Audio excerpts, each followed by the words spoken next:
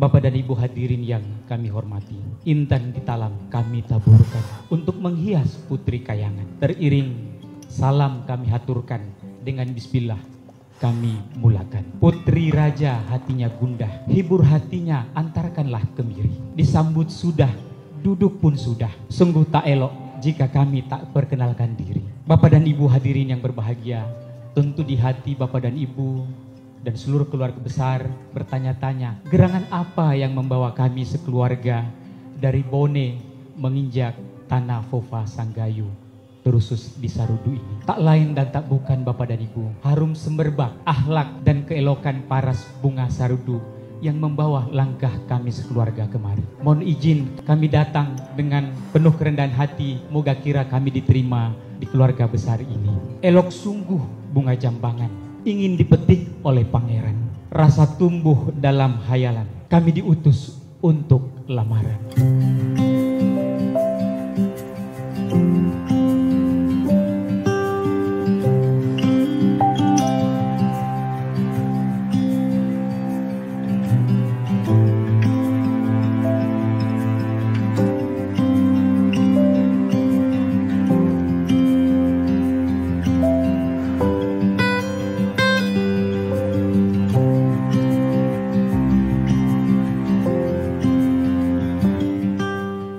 Mahar itu adalah sesuatu yang wajib harus kita hadirkan di dalam perkawinan itu.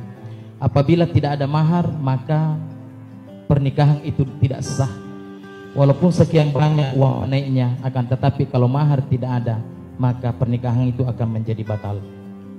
Oleh karena itu, mahar yang disampaikan adalah seperempat hektar tanah kebun yang lengkap dengan supradiknya dan disertai dengan seperangkat alat sholat. Dan perlu kami sampaikan bahwa mahar itu tidak boleh sama sekali dinikmati oleh orang lain.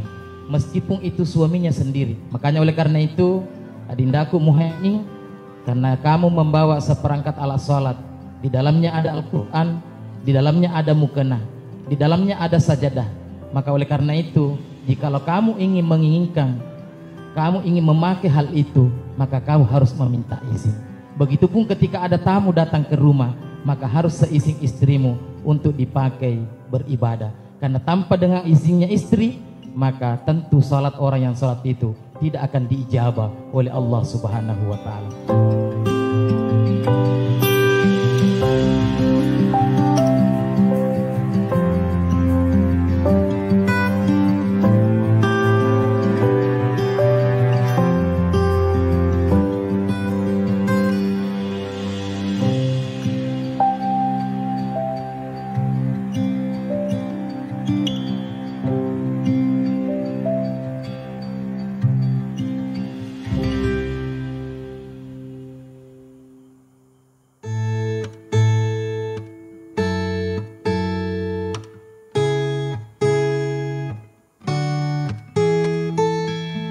Secondhand, I felt a bit forgotten.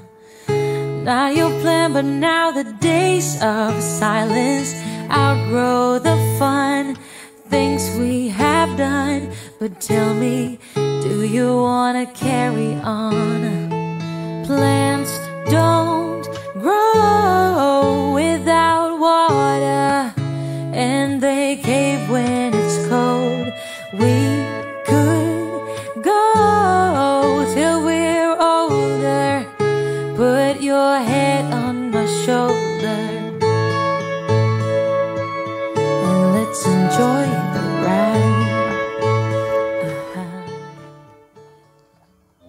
Bismillahirrahmanirrahim.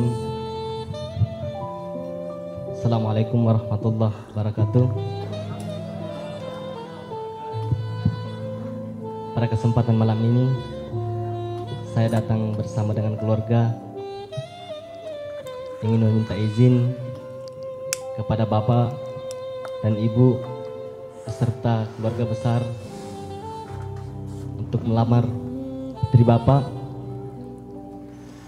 dan menjadikan dia istri saya dan insya Allah saya berjanji akan membahagiakan putri Bapak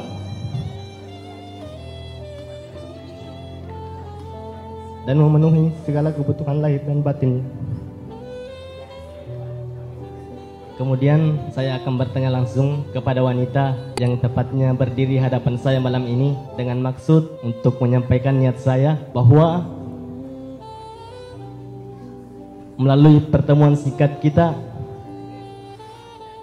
sudah cukup meyakinkan saya untuk saling mengenal satu sama lain. Dan insya Allah siap untuk menjadi teman hidup kamu. Apakah kamu siap untuk menjadi teman hidup saya di saat suka maupun duka? Insya Allah saya siap menerima kamu menjadi teman hidup saya. Di saat duka maupun duka.